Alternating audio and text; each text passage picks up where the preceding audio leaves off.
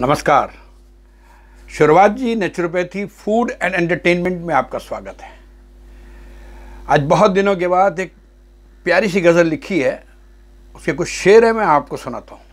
सुनिएगा।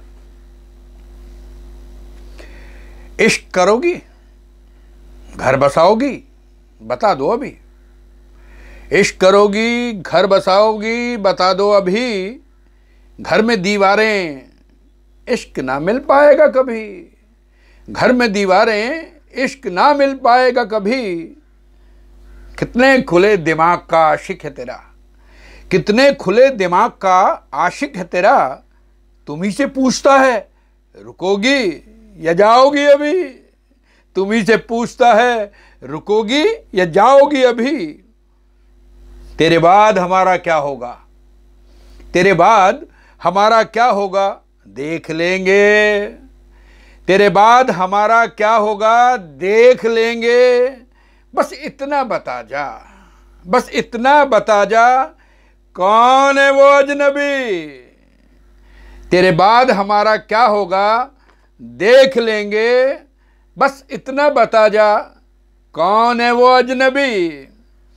नई किताब, नए लोग, कुछ दिन अच्छे लगेंगे। नई किताब, नए लोग कुछ दिन अच्छे लगेंगे। ये फलसफा है। चोट खाओगी, समझ आएगा तभी। ये फलसफा है। चोट खाओगी, समझ आएगा तभी कि चलो अलविदा, न शिकायत, न अदावत।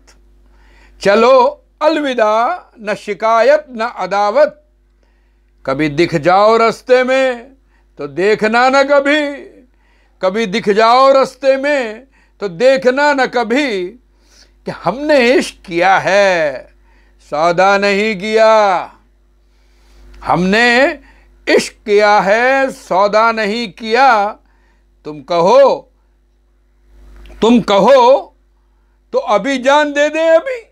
तुम कहो तो जान दे दे अभी। हमने इश्क किया है, सौदा नहीं किया। तुम कहो तो जान दे दें अभी। वैसे ही कुछ एक नया लिखने का मूड था लिखा और आप लोगों के सामने सुना दिया। अच्छा लगे तो शेयर कीजिएगा। शुक्रिया थैंक यू वेरी मच खुश रहिए, स्वस्थ रहिए, मस्त रहिए, हँसते रहिए और अपने अपने धर्म का पालन करते रहिएगा। अब शुरुआत जी नेचुरोपैथी भी मैं डालने लगा हूँ अभी बहुत अच्छी अच्छी वीडियोज़ डालने वाला हूँ। बहुत जल्दी हम लोग आपके पास आ रहे हैं। Thank you very much